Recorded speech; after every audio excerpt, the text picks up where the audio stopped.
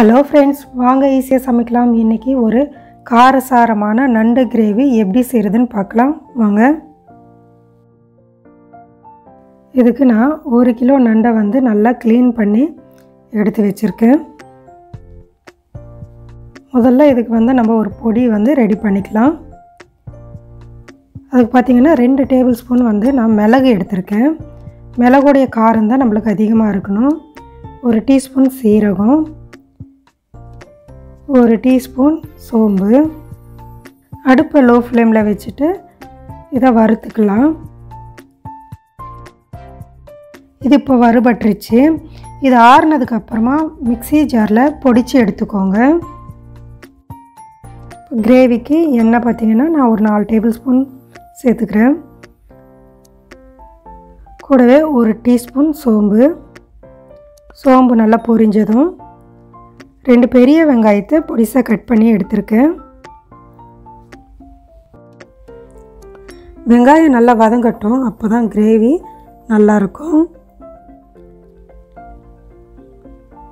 இப்போ இது கூட ஒரு கொத்து கருவேப்பிலையும் சேர்த்துக்கலாம்.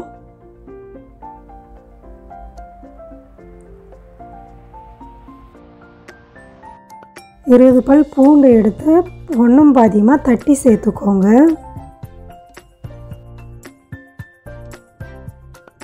நம்ம சேர்த்துருக்கிற பூண்டு வெங்காயம் எல்லாம் நல்லா வதங்கினதுக்கப்புறமா ரெண்டு தக்காளி பொடிசாக கட் பண்ணி எடுத்திருக்கேன். அதையும் சேர்த்துட்டு நல்லா வதக்கிக்கலாம். கூடவே ஒரு அரை டீஸ்பூன் உப்பு சேர்த்துக்கலாம். அப்போ தான் தக்காளி நம்மளுக்கு சீக்கிரமாக வதங்கிடும்.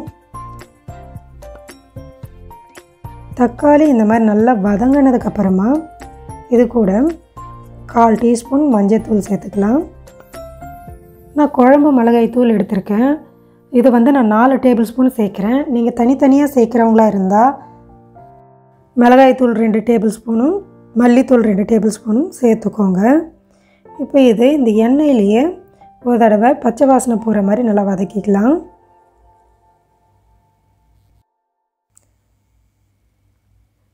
வதக்குனதுக்கப்புறமா இப்போ இதில் நம்ம நண்டை வந்து சேர்த்துடலாம்.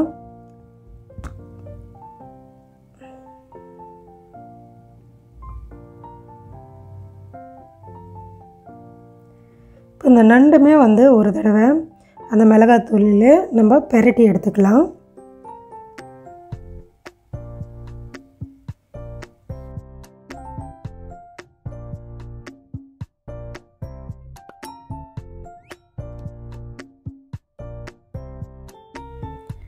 இப்போ இதில் ரெண்டு கப் அளவு தண்ணி சேர்த்துக்கலாம். சேர்த்துட்டு கூடவே தேவையான அளவு உப்பும் சேர்த்துக்கோங்க. ஒரு தடவை நல்லா கலந்து விட்டு ஒரு மீடியம் ஃப்ளேமில் இது பத்து நிமிஷம் அப்படியே வேக விட்டுருங்க. இப்போ பார்த்திங்கன்னா நல்லா வெந்து அதில் இருக்கிற எண்ணெய் எல்லாம் பிரிஞ்சு தனியாக வந்திருக்கு. இந்த மாதிரி வந்ததுக்கப்புறமா ஒரு தடவை கலந்து விட்டுட்டு நம்ம பொடிச்சு வச்சுருக்கிறோம் இல்லைங்களா? மிளகு சோம்பு சீரகம் அந்த பொடியை வந்து சேர்த்துட்டு இது நல்லா கலந்து விட்டுருங்க. அடுப்பு லோ ஃப்ளேமில் இருக்கட்டும்.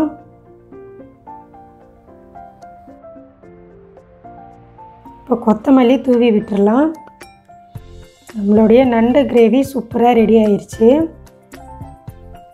சளி பிடிச்சிருக்கிறவங்க இதை சாப்பிடும்போது நெஞ்சு சளியை கூட இது நல்லா கரைச்சி எடுத்துரும். நீங்களும் இதை செய்து பார்த்துட்டு உங்களுடைய கருத்துக்களை கமெண்ட் பாக்ஸில் தெரிவிச்சிருங்க.